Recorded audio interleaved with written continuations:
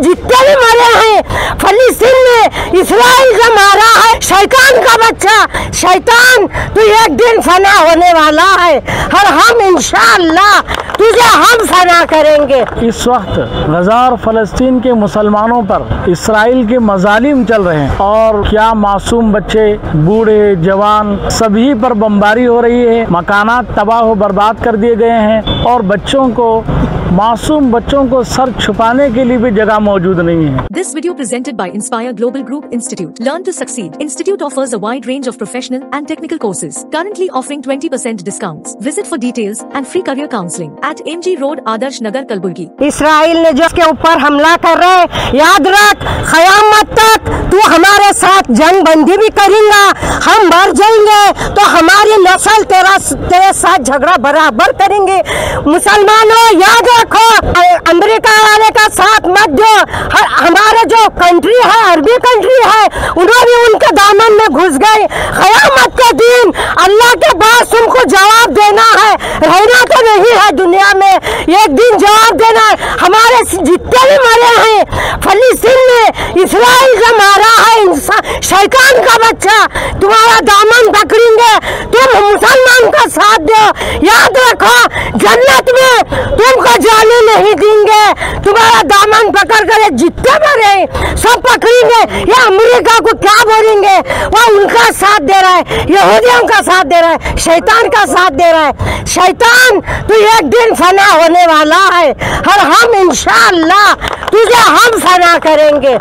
इससे बढ़कर हम अल्लाह से यह दुआ करते हैं कि अल्लाह तो फना कर, हमारा बैतुल मुकद्दस हमको दिला दे।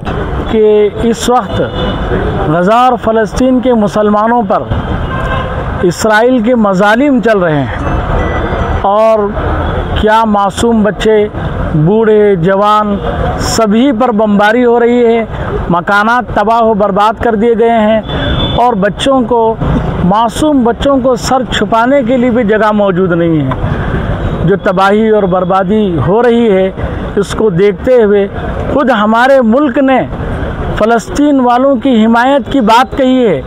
पूरी दुनिया इस वक्त जो मजालिम गज़ा और फ़लस्तीन वालों पर हो रही है, पूरी दुनिया देख रही है इस चीज़ को। ख़ास तौर पर मुसलमानों के लिए बैतुल मक़दिस जो उनका अपना इबादत का घर है, वहाँ भी मुख्तलिफ़ मौक़ों पर तबाही मचाई गई, नौजवानों को मारा गया।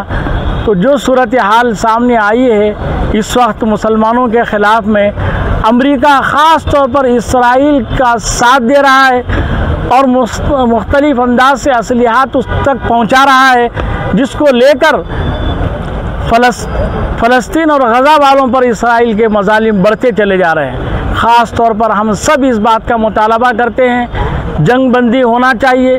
अकवाम मुतहदा से भी इस वक्त यही बात सामने आई है। अक्सरियत इस सिलसिले में वोट दे चुकी है। हम भी यही कहते हैं कि मजालिम बंद किए जाएँ और गज़ा और फ़लस्तीन के मुसलमानों को चैन और सुकून के साथ उनको अपने इलाके में रहने दिया जाए। इसराइल जो वहाँ काबिज़ है, जालिम बना हुआ है, उस, उसकी उसकी तरफ़ से होने वाले उन मजालिम को पूरी तरह से रोक दिया जाए। यही हमारा मुतालबा है। फिर से यही मुतालबा है कि जंग बंदी फ़ौर जंग बंदी कर दी जाए।